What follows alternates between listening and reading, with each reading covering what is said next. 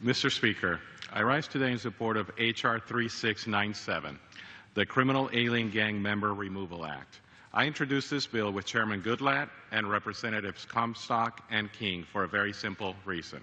The United States is facing an ever growing danger from transnational gangs, and U.S. immigration and enforcement, eh, better known as ICE, needs more tools to deal with this danger. The federal government's most important responsibility is the safety and security of the American people. However, we're not fulfilling that responsibility when we allow gangs to illegally enter our country with the express purpose of victimizing innocent Americans. In communities across our country, transnational gangs are using violence and the threat of violence to create a climate of fear that allows them to operate with near impunity. They regularly target local business owners and law enforcement officials. Innocent bystanders, those unlucky enough to be in the wrong place at the wrong time, are also paying a price. According to ICE, these gangs, quote, have grown to become a serious threat in American communities across the nation, not only in cities, but increasingly in suburban and even rural areas and entire neighborhoods and sometimes whole communities are held hostage by and subjected to their violence, end quote. Furthermore, ICE has found that, quote, membership of these violent transnational gangs is comprised largely of foreign-born nationals, end quote. The most infamous transnational gang of course, is MS-13, which entered the U.S. in the 1980s. Today, it has over 10,000 gang members operating inside the United States alone.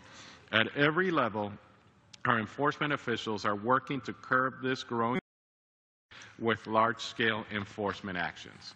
These include Operation New Dawn, which netted almost 1,100 arrests over a six-week period. However, we all know that prosecution of criminal, criminal, gang members is notoriously difficult.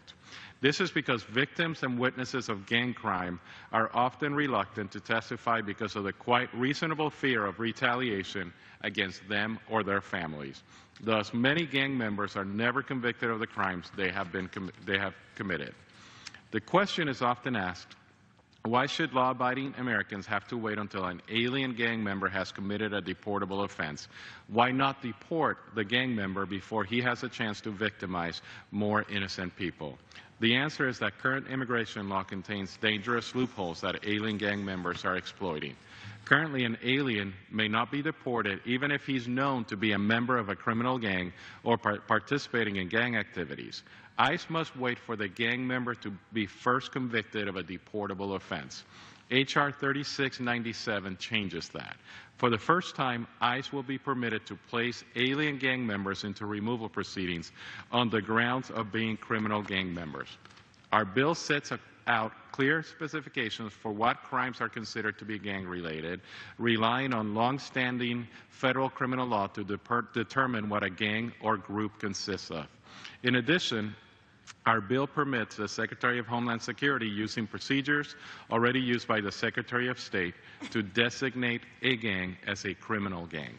This would be done in a transparent way through notification to Congress and publication in the Federal Register and with meaningful judicial review. The conclusive decision as to whether to place an alien in removal proceedings would rest with the Department of Homeland Security. And when an alien is charged, the charge must be proven by evidence on the record in the immigration court. I have heard some uneasiness that ICE will use these provisions to charge any alien they encounter with gang activity. Our bill does not allow that. As a former immigration attorney, I know the importance of due process and know how important it is for legal immigrants and for Americans and everyone within the jurisdictions of the immigration court to receive due process. And I can tell you that our bill is consistent with due process. Under H.R. 3697, ICE has the burden of proof when charging an alien with a deportable offense. And while the alien has the burden of proof when they are inadmissible, a denial of gang membership should be sufficient to shift the burden back to the government. The government must convince an immigration judge of its case. And of course, an alien order removed as a gang member has every right to appeal that order to the Board of Immigration Appeals and then to the federal courts. Ultimately, H.R. 3697 is about providing law enforcement with the necessary tools to combat gang activity in every community in our country. This is essential if we as elected officials are committed to our responsibility to keep the American people safe and secure. That is the purpose of H.R. 3697. This is the third time this year the House is holding a floor vote on portions of the Davis Oliver Act, which I introduced back in May, to make our country safer through stronger immigration enforcement. I am proud that the House passed the first two bills that came from Davis Oliver, Kate's Law and the No Sanctuary for Criminals Act, and I encourage my colleagues to vote for H.R. 3697 as well. We must take action now or watch crime rates rise in our nation. There is no place in our country for criminal alien gang members, and any legislation which makes it easier to deport them deserves the support of every member of this body. I urge all of my colleagues